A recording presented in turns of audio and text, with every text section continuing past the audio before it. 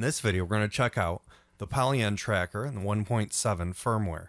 So in the last video, I tried a couple of tempo experiments, but I didn't realize there's actually in the menu here, press config, and then go to this menu, go down to MIDI, and then choose clock sync correction. So right now, if I go into our pattern, I have a little click track here. Now it's kind of low in volume, but hopefully you can hear it. And then here's the other one. So hopefully that's loud enough because what we're going to do is we're going to try different tempos and see what happens. So they're at the same rate in each sequencer. We're going to press play here. So we're at a very slow tempo. Let's see. Yeah, like 26 BPM. You can hear it's not in sync. So let's go to config, clock sync correction, change. Now let's choose one and apply. So now I'm going to press play. That sounds spot on. There's this one and then that. So you can hear them. Those are synchronized, definitely. Let's go slower just to see. So these are very slow tempos, and it's hitting exactly the same time. Then we can speed up, and we're going to go crazy in the tempo here.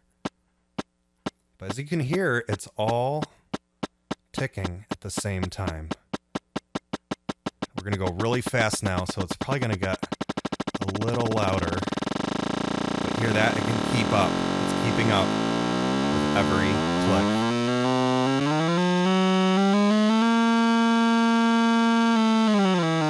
Back mm. down.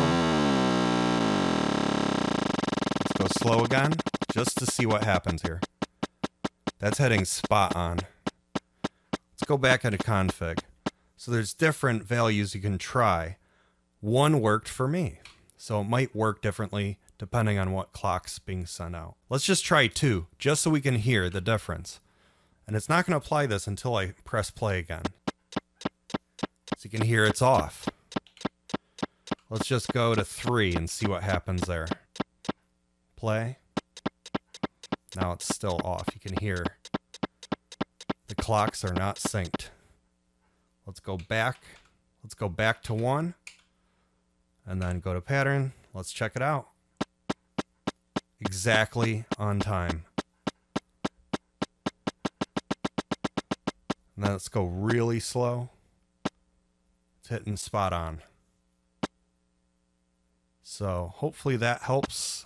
And uh, to, so hopefully that can help you guys that want to synchronize as a slave. It seems to be working just fine on my end with the direct MIDI in from Deluge. So stay tuned. I'm going to be working on Polyend Tracker Bootcamp Episode 1.